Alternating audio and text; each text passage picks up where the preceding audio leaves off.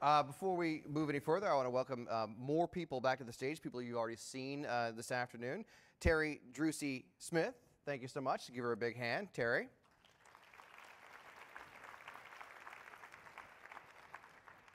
Trying to give her that look.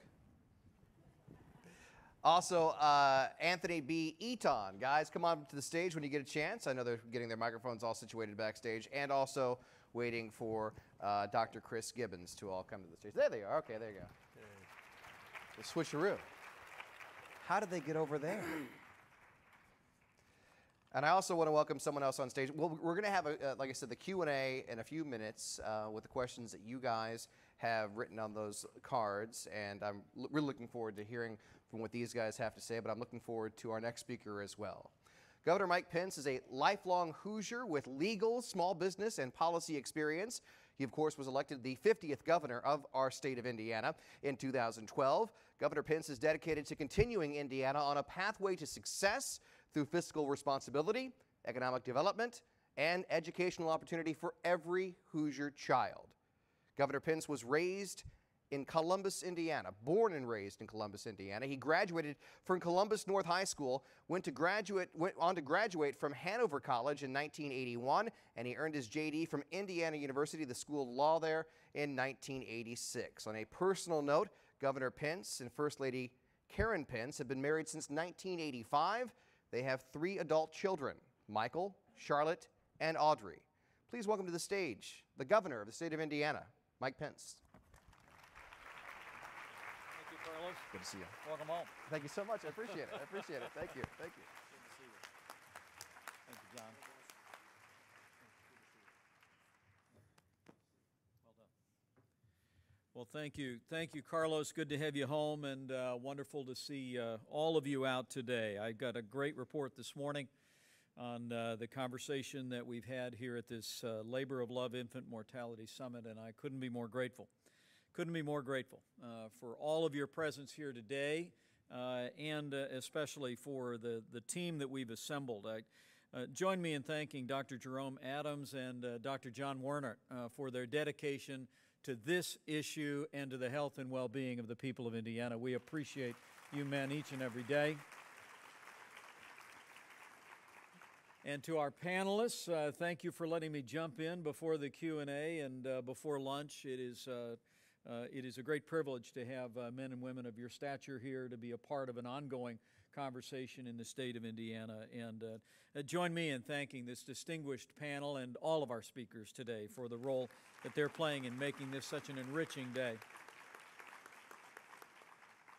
This is the third annual Infant Mortality Summit, and we, we have renamed it the Labor of Love Infant Mortality Summit. And uh, I want to thank each and every one of you uh, who are in this room. Many of you were, have been at all of these gatherings.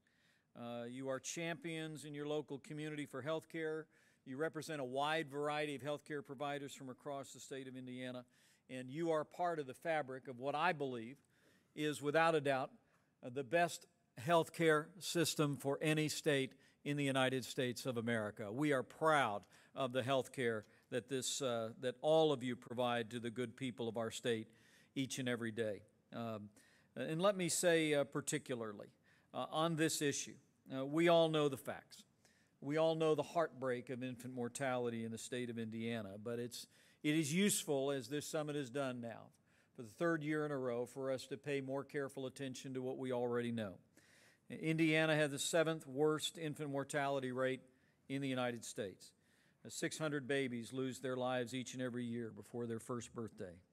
And uh, most heartbreakingly, not, not uh, all Hoosiers are impacted the same.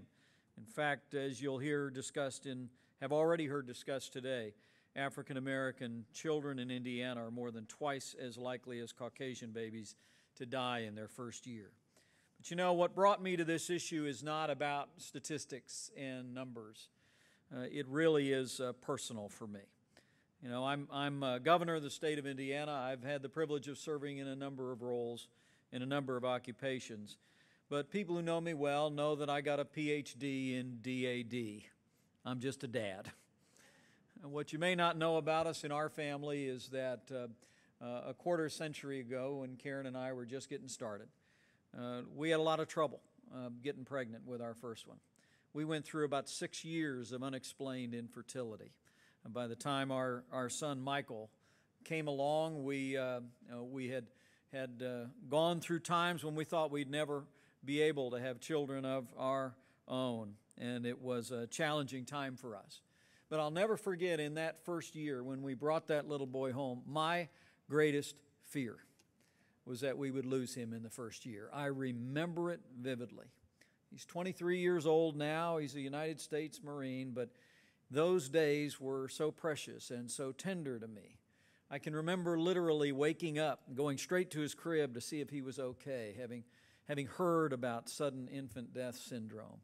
And, uh, and, and I, I don't know to this day if my wife was as anxious about that as I was. But for me, that was the worst possible outcome we could have imagined as a young family. And so after I became governor and I learned about where Indiana ranks and I learned about the heartbreak of infant mortality in our state, we moved on it swiftly in our first year in office. We assembled the first summit on infant mortality. And, and as I'll describe here, we've been taking uh, decisive action over the last uh, two and a half years to confront this. But I just I want you all to know that that um, this is not just public policy to me; it's very personal, because I cannot imagine, I cannot imagine a worse heartbreak for a mother or a father or for a family to, to lose their joy, to lose their hopes, to lose their dreams uh, in the loss of the life of a most vulnerable one. And so, uh, and so three years ago, we began this initiative focusing on making reducing infant mortality the top priority in health care of our administration. And I do want to thank Dr. Adams and Dr. Warner uh, for embracing this policy and driving it forward. Uh, you all know our Labor of Love campaign was launched earlier this year with the help of, uh, of that First Lady that I just mentioned, a state led public information campaign uh, to bring the public's attention to the issues surrounding the heartbreak of infant mortality and it has had, we believe, some genuine success uh, in uh, informing women across the state of Indiana about the opportunities and, and, uh, and resources that are available for expectant mothers. Uh, we're also, we've also been doing a deep study in our administration through what, what we set up more than a year ago, the Management Performance Hub. It is the, the first central data hub of any state government in the United States of America. And it, we're, we're drawing resources and data from sources all across the state of Indiana to analyze, uh, analyze and identify those uh, mortality risk factors. And, and we've developed some initial conclusions in the state of Indiana, and they've informed policy decisions that we've made and will continue to make. Uh, we all know that there are statistically significant patterns like inadequate prenatal care, low income, and and young maternal age were shown to be the strongest predictors of adverse birth outcomes. It's one of the reasons why, in this last session of the General Assembly, we signed a budget into law that dedicated more than $13 million for infant mortality prevention efforts. And we have several targeted initiatives that are already up and running to address the causes of this heartbreak. You all, I hope, already know about the Moms Helpline. provides pregnant women and those of childbearing age with assistance in enrolling in HIP 2.0. Through the Moms Helpline, we connect these women uh, to more than 10,000 county specific health and community service providers so families can easily access these services. The Baby and Me Tobacco Free effort uses diaper vouchers to incentivize parents to quit smoking during pregnancy and, and after birth. And let me say, as I mentioned just a moment ago, uh, I couldn't be more proud of the partnership that we've had with our healthcare provider community in expanding and enrolling uh, underprivileged Hoosiers in HIP 2.0. You know, we worked over the last two years to find a way that we could we could expand coverage in the state of Indiana for our, our most uh, uh, people that are challenged on the economic ladder of success.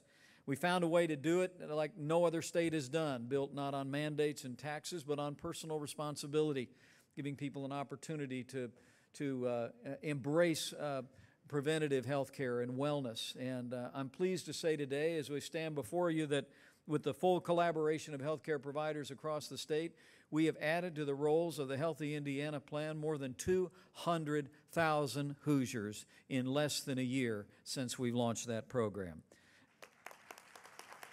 I truly believe I truly believe of all the initiatives that you'll talk about here today and all the things that we're doing, one of the things that both of these docs have told me on the stage and our team has told me is that, that getting more women, uh, particularly women who are in economically challenged situations, into primary care, which the Healthy Indiana Plan makes it possible for them to do, is probably the best long term solution uh, to reducing infant mortality in the state of Indiana. And so I urge you, I urge you to continue to spread the word about HIP 2.0 and encourage, encourage more Hoosiers, especially vulnerable women in this state, uh, to be a part of that program long before they become uh, pregnant.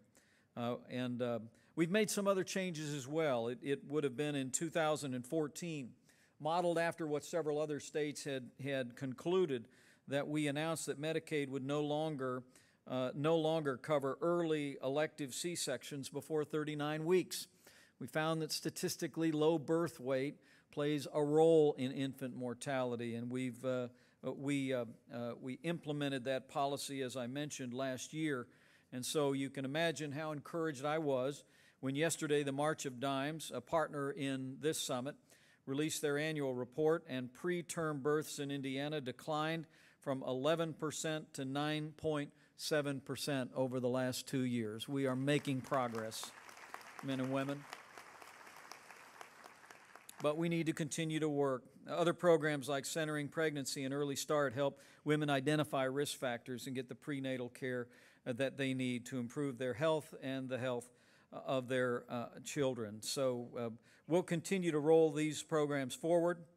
The Indiana State Department of Health, the Department of Child Services are also working together to expand uh, the availability of evidence based home visiting programs in Indiana, so like the Nurse Family Partnership and the Healthy Families Indiana program.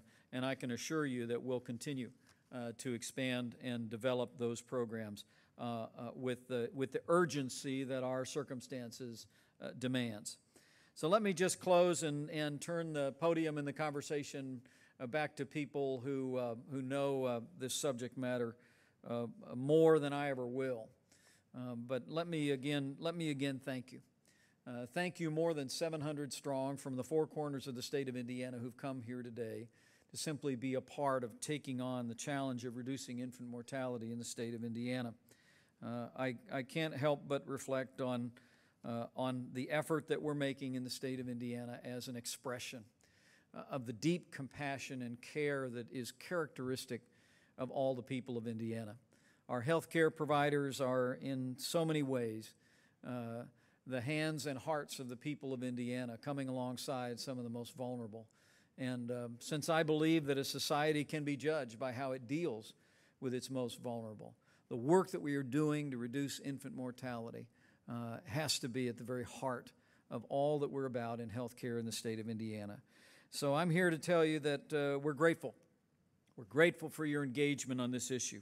Uh, we pledge uh, that we will continue to strive not only to raise awareness of the heartbreak of infant mortality, but also to continue to drive toward real results in reducing its incidence in our community.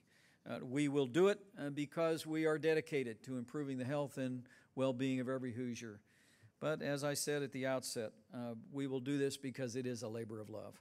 Uh, we will do this because um, here in Indiana, we come alongside we come alongside uh, those that are facing challenges and uh, to, to, to be there with expectant mothers, to be there with new mothers and new parents, and to make sure that they have the information and that they have the support and to see those children grow up to be strong uh, and healthy and productive citizens uh, must continue to be our aim. We must not rest, we must not relent until we reduce the scourge of infant mortality here in the state of Indiana. And that's my pledge to you.